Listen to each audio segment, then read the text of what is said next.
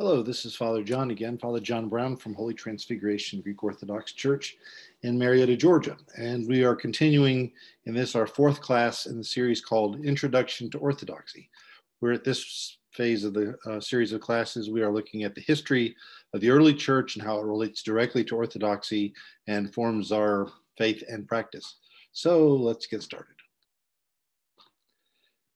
In the previous class where we ended, we talked about the persecution of the Christian church, which began almost immediately at its inception and continued for over 250 years. So now we begin looking at the events leading up to and the results of the momentous reign of the Emperor Constantine and beginning with his role in the age of deliverance, the deliverance of the church from Roman persecution. The next major event of the early church was the conversion of Constantine to Christianity and his rise to the imperial throne. Flavius Valerius Constantinus, which is rendered into English Constantine, was born in 272 AD. His father shared the office of emperor with three other rulers. He became a general in the Roman army.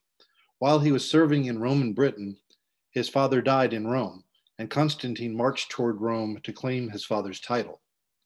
Outside Rome, Constantine prepared for a battle against his rival for that office named Maxentius.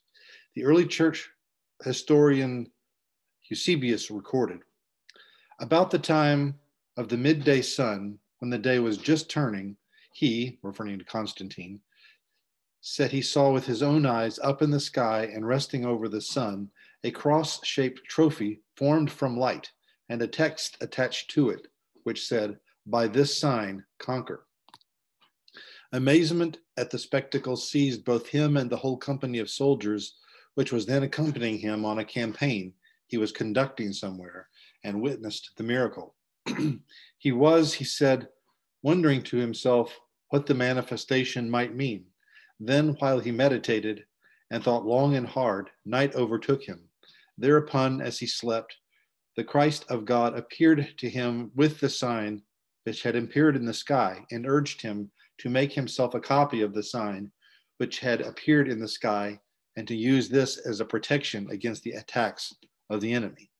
This is again from uh, the historical writings of the early church historian Eusebius. Constantine obeyed the vision. He ordered his army to paint crosses and letters, hero, or in English we would pronounce it Chi Rho, the first two Greek letters in the word Christ on their shields. He won the battle at the Milvian Bridge and entered Rome and became the sole emperor of the Roman Empire. He also began his transformation into a Christian. The 31 year rule of Constantine was to have a profound effect on Christianity.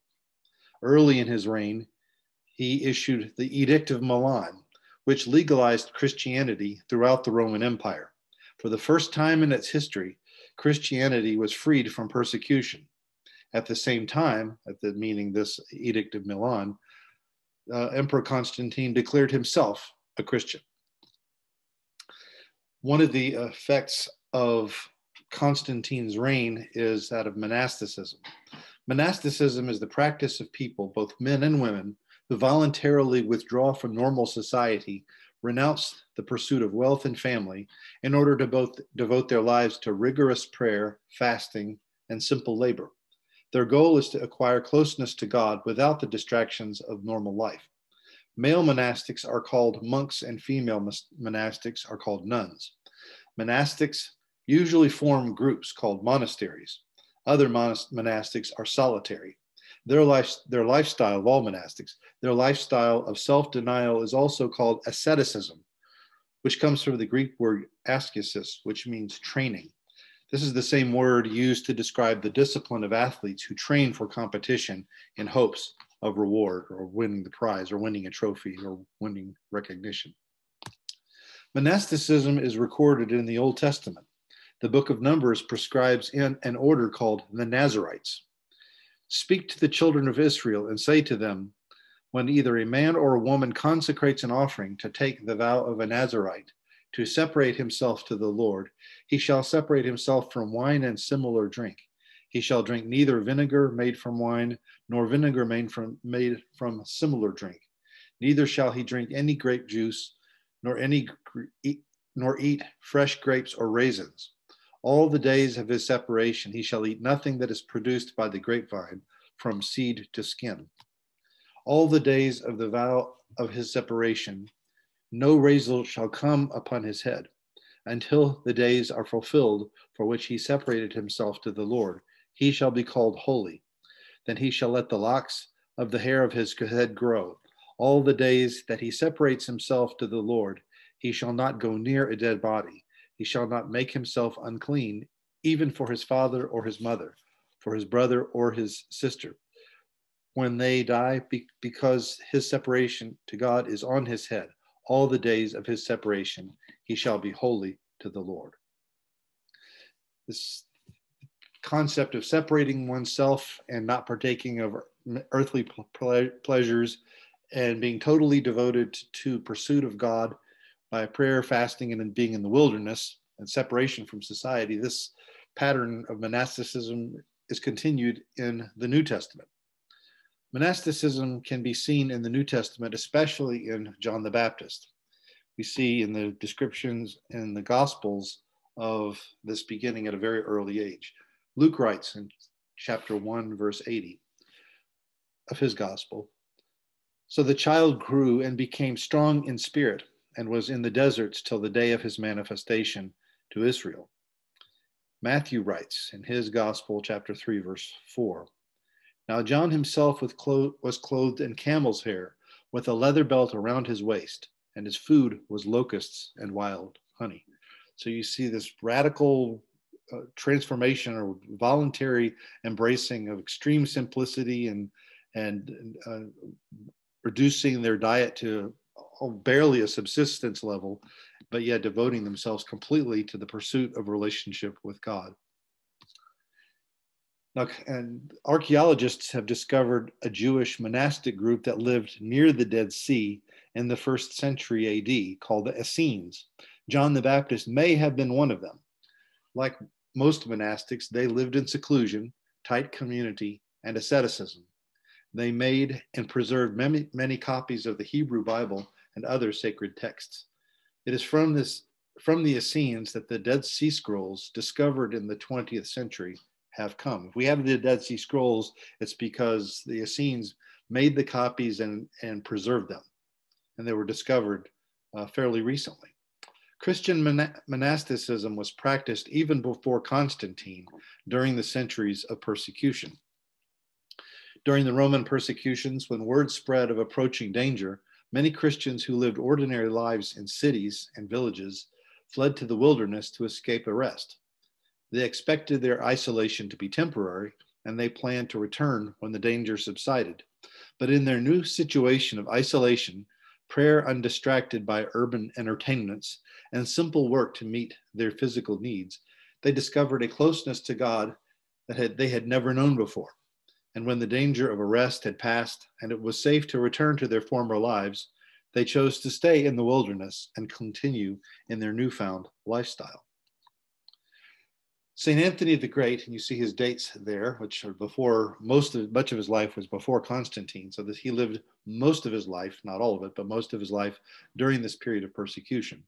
St. Anthony the Great is considered the father of Christian monasticism, who spread the practice throughout his native Egypt. After Constantine became emperor and the threat of persecution was gone completely, monasticism continued to thrive in Christian areas as people sought the peace of the desert. As the Roman Empire became Christianized, many at the time felt that something valuable had been lost. The threat of persecution meant that most Christians were extremely dedicated to their faith. But with the perse- persecution gone, some Christians questioned the sincerity of those who were entering to the church at no risk. Worse, some Christians felt that some people were embracing the emperor's religion in order to advance their careers, particularly those engaged in politics. And so, even though I'm sure if we were to take a poll in that era of Christians, they would were extremely grateful and thankful to the fact that they no longer had to had to live and worship in fear, and uh, they would not have to see their friends tortured and put to death as a public spectacle anymore. But yet, this, the, some people really felt something had been missing. The, the, the, the, the, if to put it in the modern terms, that the new post legalized, legalized church, there too many people have been uh, were becoming soft from the position of some people. Finally, with the legalization of Christianity, martyrdom quickly went from being common to extremely rare, and some Christians who aspired to become martyrs no longer had that option. But in monasticism, they could find a new form of martyrdom. They could live out the words of the Apostle Paul I beseech you, therefore, brethren, by the mercies of God, that you present your bodies a living sacrifice, holy acceptable to God, which is your reasonable service instead of being put to death for their faith in a Roman prison or arena, zealous Christians could offer still offer their lives to God as a sacrifice to Christ through the rigors of asceticism in a monastery. And so this was sort of a paradigm shift for the what monasticism was all about. And it, monasticism has ever been ever since been a major influential force within the Orthodox Church and have has an enormous amount of prestige and respect to those who pursue this, this voluntary lifestyle. Now, another major event that took place as the result of Constantine, and that was the founding of New Rome, Constantinople, as it was called, and is uh, still called in some circles. Another major, major decision by Constantine was to build a new capital of the Roman Empire for Rome, Rome to a new location in the eastern part of the empire. This location was a small town called Byzantium, from which later the term Eastern, the, the term uh, Eastern Christianity in the capital became called by some the Byzantine uh, church or the Byzantine East. And that name comes from the very small town over which the new major city was built, uh, begun by Constantine. Constantine called his new capital city of the East New Rome. Subsequently, it was referred to by people as the city of Constantine, and it was named Constantinople. And you can see there, if you know Greek, you can see how Constantinopolis in, in, in Greek. So as you can see on the map there to the right, basically where the east and the western halves of the post of, of Constantine's after Constantine's division of the empire between East and West. The West continued to be ruled in Rome. The East would now be ruled from the new capital called Constantinople. And if you if you like maps and you can learn from them, uh, that's what those are the areas we're talking about. So when I'm talking about the Christian East versus the Latin West, those are the areas we're talking about. Another important aspect of Constantine and his rule was the age of the ecumenical councils. Not only did Constantine legalize Christianity, but he also used the resources of the Roman government to assist it. He paid for the construction of countless churches, contributed to the charitable works of the church, and paid stipends to the clergy. Another pivotal act of Constantine was his sponsorship of the first ecumenical council of the church, the, Nice, the Council of Nicaea in the year 325. Now, the word ecumenical comes from the Greek word ikumeni, which means the inhabited earth. As the first Christian emperor of Rome, he felt it his duty to provide for the gathering of all the bishops from over all over the world to strengthen, strengthen the household of the church. Synods and councils had been held there had been held before, but these were all local and sometimes regional and were held usually in secret because Christianity was illegal. But now, under, under Constantine, bishops from as far away as Rome and Britain and Germany and Spain and Africa and Asia Minor, which is today would be the area of modern Turkey, and even as far away as the Sassanid kingdom, which was would be in modern day Iran, could now travel at the emperor's expense and all gather under one roof. The first of these ecumenical councils was held in Nicaea near Constantinople in 325 AD. And there a map can kind of show you where Nicaea was. If you find Constantinople, you can see in that general area the where Nicaea was. The city that's there today that replaces it is Iznik in, in Turkey. So that's where this took place. Now, the ecumenical councils the, were not created in a vacuum. Basically, the pattern of all the ecumenical councils is set for all time in the what could be described, I guess unofficially, as the Council of Jerusalem, which is described in Acts chapter 15. And the pattern, the, the same paradigm, the same uh, series of events that constitute an ecumenical council began actually with that. And you can read about it in, in the Bible in Acts chapter 15. The ecumenical councils were called not just because it was time to, like every four years or every three years or, or whatever. They were always called in response to a theological controversy, a major theological controversy and uh, so this is that was the case at the Council of Jerusalem in Acts chapter 15. What was the theological controversy? And certain men came down from, from Judea and taught the brethren, unless you are circumcised according to the custom of Moses, you cannot be saved. This caused a great uproar within the church, and it, it, it called for an ex- careful examination as to whether or not this was true. So, following the theological controversy, next we have the gathering of the apostles and the presbyters, which in those days were called elders, which is what the word uh, presbyter means in Greek. Now, the apostles and elders came together to consider this matter. Then they got together and then they debated, they discussed, and this is called conciliarity, which is basically the function of a council. The word conciliar is related to the word council, where they would argue and debate, and then they would come to a decision by consensus. So that happened in the Council of Jerusalem.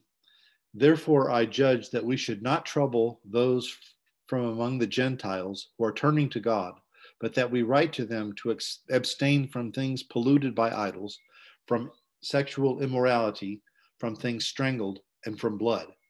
For Moses has had throughout many generations those who preach him in every city, being read in the synagogues every Sabbath. Then it pleased the apostles and elders and the whole church.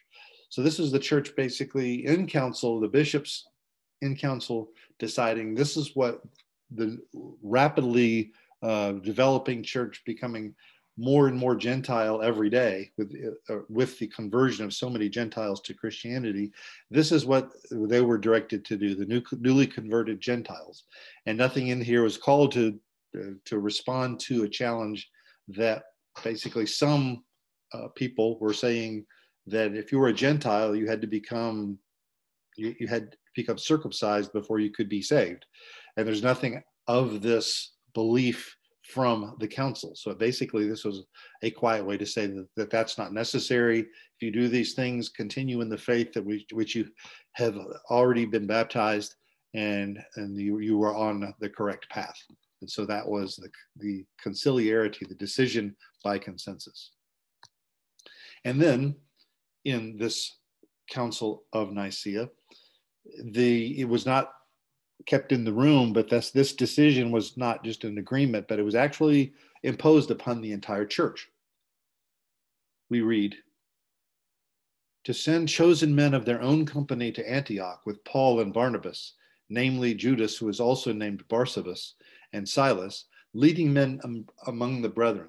They wrote this letter by them. And then that letter went on to detail what the decision of the Council of Jerusalem was. And here's some a little detail that should not go, uh, uh, should not be missed.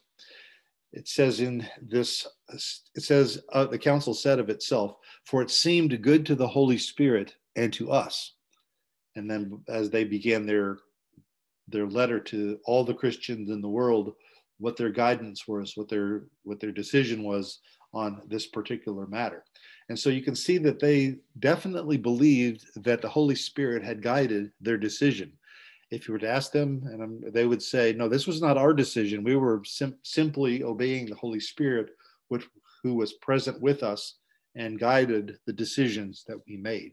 So, this is one of the reasons that the Orthodox Church to this day when there is a true ecumenical council, and there have only been seven, but wherever there is or ever will be an ecumenical council, from that we understand that that is the arena in which the, the will of the of God, the will of the Holy Spirit, is revealed to the church. And this conciliar decision of the first council of Jerusalem uh, is binding upon all. It goes on to say that the council wished uh, not to lay upon you no greater burden than these necessary things that you abstain from things offered to idols, from blood, from things strangled, and from sexual immorality. If you keep yourselves from these, you will do well. And so that was basically a gentle commandment from the council to, to everyone. This was not negotiable. There was this was not put to a vote of any individual church or any individual bishop but it was the church acting in council under the leadership of the Holy Spirit with a gathering of, of all the available bishops to make this decision. So you see in this passage of Acts, this paradigm, this procedure for ecumenical councils, all the ecumenical councils follow this biblical pattern established by the apostles. Orthodoxy believes the seven ecumenical councils are the highest authority of the church on earth. They outrank all bishops and all patriarchs. So the first ecumenical council, official ecumenical council, took place in Nicaea in the area not far from Constantinople in 325. So, what was the theological controversy? A priest in Alexandria named Arius was teaching that Christ was not fully divine, but rather a superhuman being. Arius also taught that Christ was created. In fact, there was a there was a jingle or, or, or motto that the Arians uh, said there was a time when he was not. That was something they said amongst themselves all the time. That's kind of kind of a, a lingo, uh, but uh, and that pointed to the fact that they believed that Christ was created. They believed if we could get in a time capsule and go all the way back in time, we would eventually come to the point where there was no Christ and there was no divine Christ uh, because he was born, begotten, and born at some point in the past. Now, this doctrine is called Arianism. And just to be very careful to and hasten to add that it is called Arianism only because it was named after the movement of the priest in Alexandria who was the founder of this belief. It has nothing to do with white supremacy or anything like that. This doctrine was gaining many adherents and was causing an uproar throughout the church. So, following the example of the Council of Jerusalem recorded in the book of Acts, the bishops gathered. 300 bishops gathered in Nicaea in 325 AD to decide the truth or falsehood of Arianism. They came to a decision. What was the decision of the consensus of the council? The bishops heard testimony from both Arius and his opponents and determined that Arianism is a heresy. They declared that Christ is fully God, as much so as the Father. He is of one essence, and the Greek word for that is homoousios, and uh, with the Father, and he is eternally begotten of the Father, and he is not not created. As long as there has been God, there has been the Father and the Son and the Holy Spirit. Christ was not created; he is he retains every aspect of God that we understand God to be at all. And then they made their announcement, this conciliar decision of the Council of Nicaea, and it was testified to the entire church. The Nicaea, the council wrote the first part of what we know today as the Nicene Creed. They drafted wording which specifically refutes or refuted Arianism.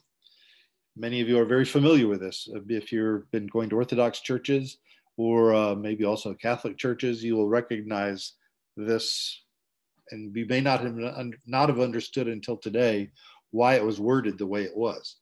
I believe in one God, the Father Almighty, creator of heaven and earth, and of all things visible and invisible, and in one Lord Jesus Christ, the only begotten Son of God, begotten of the Father before all ages so this is a refutation begotten of the Father before all ages. That was put there to refute Arianism, because the Arians believed that the Son of God was begotten during one of the past ages, but before the, the council said it was before all ages, that he is light of light and true God of true God. This is something else a Arian could not say. An Arian would say, well, he's not really quite God. But the church, through the Council of Nicaea, says he is true God of true God. And then the council says he was begotten, not created. This is a refutation of Arianism, who said that he was created. The next clause of one essence with the Father, through whom all things were made. So that one essence, that what that that which the Father is, is the same essence of what the Son is. And Uh, there was the Father and the Son, and by extension also the Holy Spirit, were the Trinitarian creators of the universe. That's why it says, through whom all things were made. And so this this whole part of the creed was written specifically by the council to say Arianism is wrong. We refute it, we reject it. Then it continues, who for us men and for our salvation came down from heaven and was incarnate of the Holy Spirit and of the Virgin Mary and became man. And so this was the first part of the, the Nicene Creed, also known in our day as the more completely as the Nice, Nicene Constantinople Creed, which we'll get to in a second.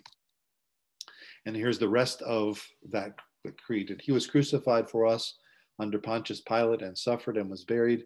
And he rose on the third day according to the scriptures. He ascended into heaven and is seated at the right hand of the Father. And he shall come again with glory to judge the living and the dead. His kingdom shall have no end.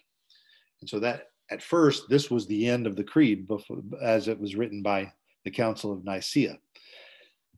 The conciliar decision is binding upon all. Again, this was a, they, they came to their co- conclusion. They wrote a creed to reflect their anti-Arian position, uh, and they, this was binding to all. This was not put to a vote. This was not voted upon by all the, by individual churches or individual bishops. This was the decision. And once the will of the Holy Spirit had been discerned and the consensus was reached, the council banned Arius and his followers. And this, this was the normal way to go. People, the, the bishops that, that persisted in rejecting the council and the whole will of the Holy Spirit reflected in that council, they were banned and banished. Then came the second ecumenical council in Constantinople, and in the in 381. Uh, you see Roman numeral one, just like you see Nicaea Roman numeral one. This is because there would be another another council of Nicaea, and there would be a couple more councils in, in the city of Constantinople. So you will see the, the, words Nicene, uh, Nicaea and Constantinople again. But this is to the, the Roman numerals to put them in chronological order.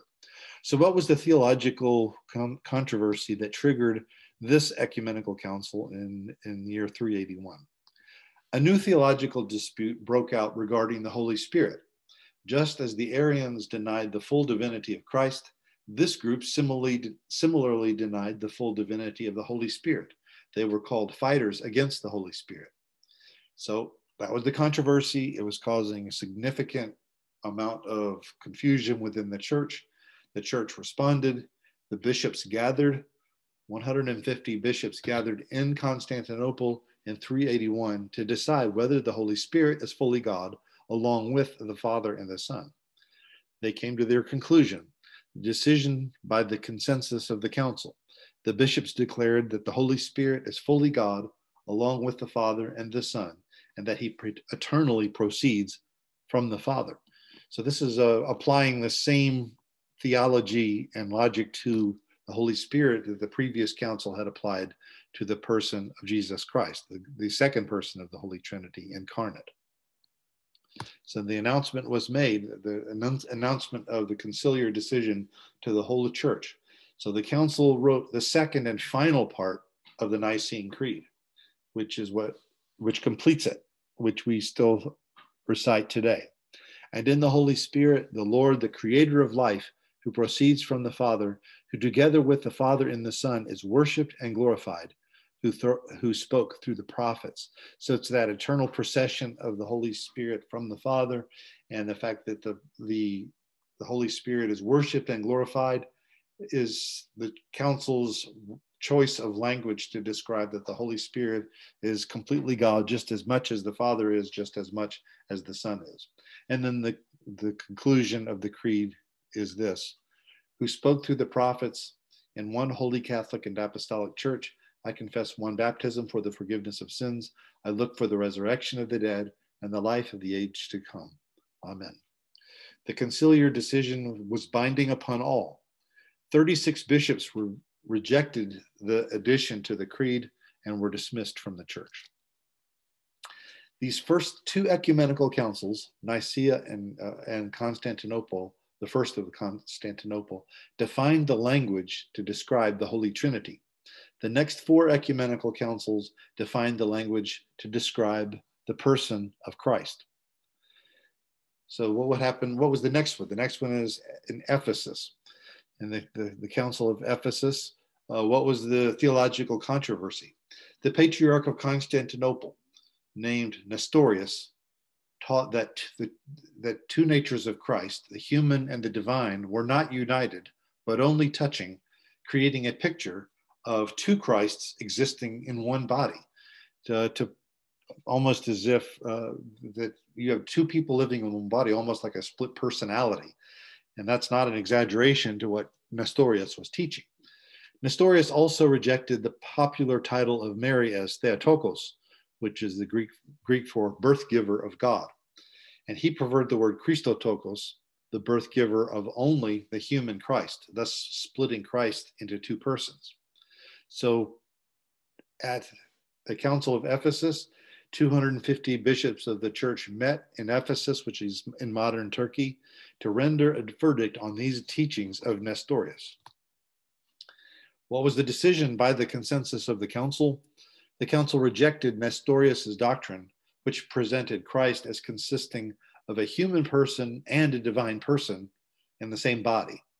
It proclaimed that Christ rather consisted of two natures united in, into one person two natures, and the Greek word there is physis, and one hypostasis or person. The council also affirmed that the belief that the Virgin Mary gave birth to the full Christ, both of Christ's natures, not just the human nature, therefore she is rightly called Theotokos. Finally, the Ecumenical Council of Ephesus reaffirmed the Nicene Constantin Constantinopolitan Creed and forbade any future modifications to it. The Fourth Ecumenical Council took place in Chalcedon, also in the same general region of what is today modern, modern Turkey, not far from Constantinople. What was this theological controversy? In spite of the fact that the Council of Ephesus proclaimed that Christ had two natures united into one person, a group began to teach that Christ had only one nature, the divine nature. The human nature was subsumed or absorbed by his divine nature. It's almost as if to put it, what the Monophysites believed is, is to, to use an analogy that Christ's human nature was almost like a cup of water, but his divine nature was the ocean. So what happens when you pour a cup of water into the ocean, the ocean absorbs the the, the, the cup, which is Christ's human nature. That was sort of the way they looked at it. And that's why this group was called the Monophysites, which comes from the Greek word that means one nature. So the bishops again gathered. This time it was about 520 bishops, and they they assembled in Chalcedon, which is in modern day Turkey, to assess this doctrine. The decision by the council of the by the consensus of the council. The Council of Chalcedon rejected the Monophysite position and reaffirmed that Christ retained both a, a divine and a human nature united into one person. The council specified that his human nature was real and was never absorbed by his divine nature, and retaining his existence as the Greek word of theanthropos, which could be d- described as the God man. That's a pretty good way of describing it, and that's why the, the this term this the Greek word and the, and the translation of it is what the council used to say he is he was the God man, and the man never disappeared into the God. The announcement of the conciliar decision to the whole church. The council's explanation of the relationship between Christ's two natures is a classic on this subject. If you ever want to know the most um, effective, understandable, and complete and trustworthy description of what it is the church believes about the interaction between, between Christ's humanity and his divinity and why it's so important that both be preserved in his person, that was put forth by this, this Council of Chalcedon. And I'll read it to you in detail. One and the same Son, perfect in Godhead and perfect in humanity, truly God and truly human, acknowledged in two natures, unconfusedly, unchangeably, indivisibly, inseparably. The difference between the natures is in no way removed because of the union, but rather the peculiar property of each nature is preserved. And so that's a very elegant and concise and very understandable description of what the church said, why it was essential that Christ maintained both natures in his person. So the announcement of the conciliar decision was made to the whole church.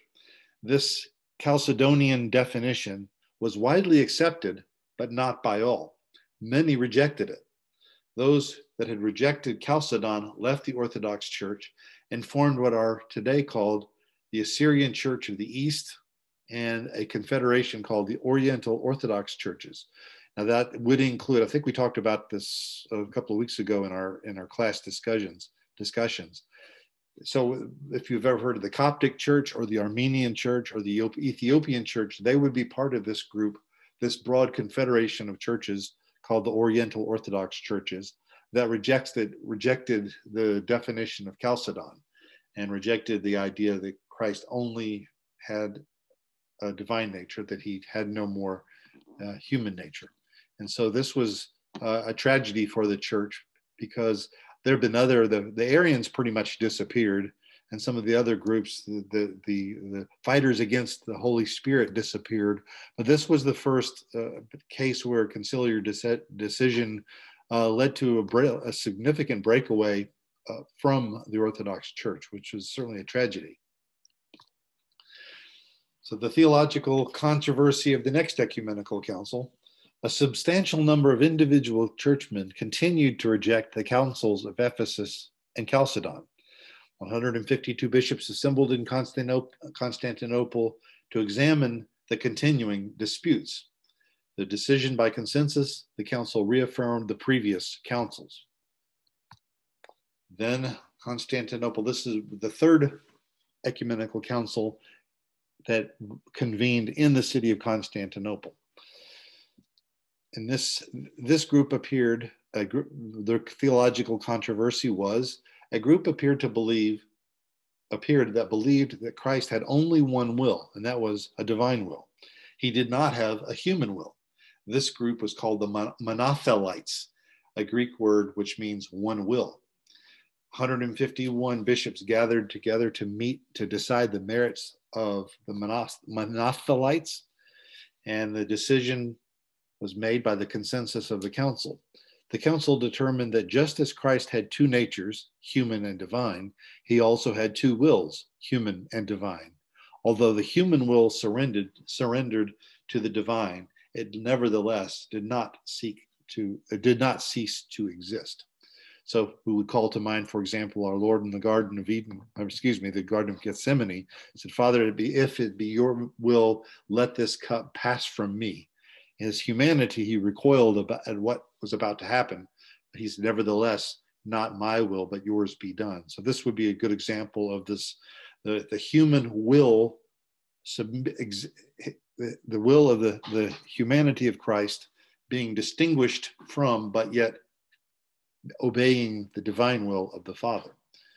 And so that was an important, uh, important uh, event in the in the development of the church and, and our doctrine. Now comes the seventh and final ecumenical council, and this took place in Nicaea, same place as the first one in 787 AD. What was the theological controversy which triggered the Seventh Ecumenical Council? A controversy appeared in the church fueled by political superstition, which began to reject Christian images of Christ and the saints called holy icons. The church had incorporated holy icons into public and private worship, since its earliest days. According to, to tradition, several icons in the church's possession were painted by the evangelist Luke. Icons were painted in the catacombs during the Roman persecutions, and by this time were found in all the Christian temples of worship. By this time, the religion of Islam had also come into being, a very iconoclastic religion, and we'll see it a second. To, uh, the word iconoclast or iconoclastic means destroyer of icons. And that was very true of Islam. Uh, Islam is very, very uh, direct and does not like any depiction of any holy thing. And his followers were conquering large amounts of Christian territory across the Middle East. This was causing great alarm in the Eastern Christian Roman Empire. The emperor, in consultation with some of the bishops, decided that the reason God was allowing his Christian empire to lose to the Muslims was because the church was falling into idolatry through the use of holy images. This was the beginning of the iconoclastic period and was a very difficult time for the church. The emperor and some of the bishops believed that these icons violated the second commandment. It is in the in, in the Ten Commandments. The second commandment uh, of the Ten Commandments, which is in Exodus chapter 20, says this You shall not make for yourself a carved image, any likeness of anything that is in heaven above, or that is in the earth beneath, or that is in the water under the earth. You shall not bow down to them, nor serve them. For I, the Lord your God, am a jealous God, visiting the iniquity of the fathers upon the children to the third and fourth generations of those who hate me, but showing mercy to thousands, to those who love me and keep my commandments. So this first part of it, you shall not make for yourself a, a carved image. This was the, that was what the emperor at the time and some of the bishops thought that must be why we're losing to the, the Islamic armies. Based on this interpretation, the emperor ordered all icons to be removed from all Christian churches. The only religious symbol permitted to remain was the cross. This produced a massive reaction. Most of the faithful removed the icons from their churches and hid them rather than allowing them to be confiscated and destroyed. So that, that triggered was uh, because of the outrage and uproar over this, this edict from the emperor, there was another gathering of the bishops, the seventh of the final of our ecumenical councils. The emperor and all those who sided with him were called iconoclasts, a Greek word which means breakers of icons. As a result of this provocation and backlash, 308 bishops converged on the city of Nicaea, the same city where the first ecumenical council had been held over 400 years, 450 years before. They were to decide if icons were idols, and if not, why not? The decision by consensus of the council was this. The council heard various arguments, very, various testimonies from both the pro and the icon camps. The arguments of St. John of Damascus proved decisive in preserving icons and Christian worship. John asserted that before God became human, God could not be depicted. But because of the incarnation, God now had taken upon himself a human body in Christ as a result of the incarnation. That body could be depicted in paint and stone. Each icon, in fact, bears witness to the vital Christian belief that God has become man in the person of Christ. He also explained that we do not worship the paint and the wood, only God, and we offer veneration to the images. In this, he distinguished the use of two terms worship, latria, which, uh, and veneration, which is proskynesis, which are up until that point were being used interchangeably. So the church made, a, made a significant and vital clarification that worship is for God alone, that we do not worship the, the images. We honor them, we respect them. I use the analogy of, of when uh, the flag is raised and they sing the national anthem, it's common for Americans to stand and take their hats off and be quiet and, and respectfully uh, listen to the national anthem. We, re- we, we re- uh, render a certain degree of veneration or proskynesis to that event. Or if we go to a courtroom and the judge enters and the bailiff says, please rise, what we, we do that in respect to the position of the, of the judge what we're doing is a, a form of proskynesis, which is honor or respect or veneration. But those are two entirely different things than worship. So the council agreed with John's arguments. To ensure that icons would never be used as idols, the council made a clear distinction between honor or veneration in Greek and, uh, and, would, and would remain appropriate to the use of the icons, and worship, which is reserved for God alone. The announcement of this conciliar decision was made to the whole church. When the uh, when the, church, the council proclaimed its support of icons and ordered that they be restored to the churches, it was received with great joy among the people. This final event happened on the first day, Sunday of the holy season of Lent. So the faithful took their icons out of hiding and brought them back into the churches.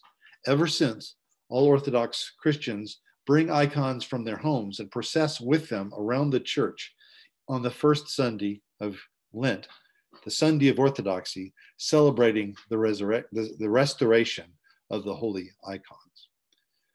So now we'll take a spend a few minutes just talking about the rapid expansion of early Christianity. We basically in the last few classes covered more or less from Pentecost all the way up to uh, beyond the, the fourth century, but to, using maps to give you a picture of where Christianity was and where it was present but not particularly strong, and where it was present and, and became a significant uh, portion of the populace.